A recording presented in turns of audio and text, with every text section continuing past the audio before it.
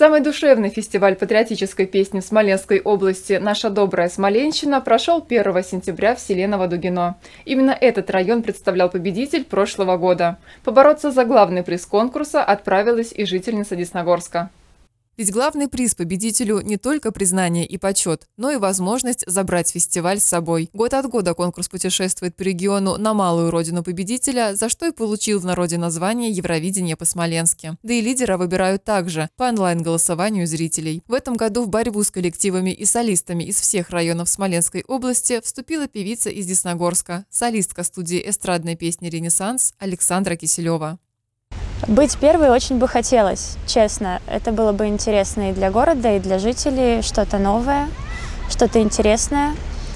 Но победу нас никто не привозил, и очень тяжело в голосовании в онлайн э, бороться с нашему городу, э, с районами. У нас значительно меньше людей, значительно меньше людей, соответственно, голосуют, и тяжело набрать нужное количество.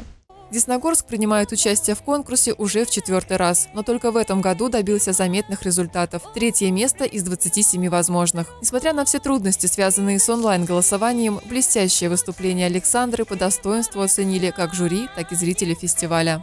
Радость в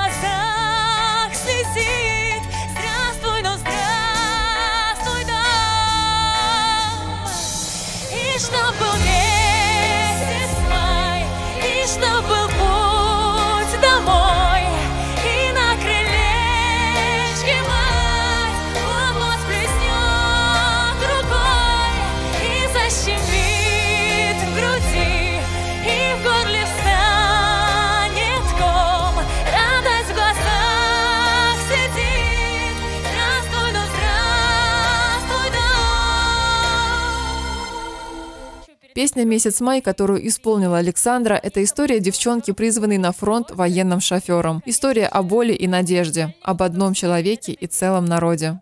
Песня тяжелая, эмоционально тяжелая, глубокая. И, видимо, понравилось, как спели. Когда я допела, я не слышала никого. Была тишина. Мне сказали, что там кричали «Браво!». В следующем году уже седьмой фестиваль патриотической песни пройдет в Ярцеве. И кто знает, может быть, тогда Десногорск станет еще на шаг ближе к победе. Ксения Ложкова, Виталий Волков, Александр Ерофеев, Десна ТВ.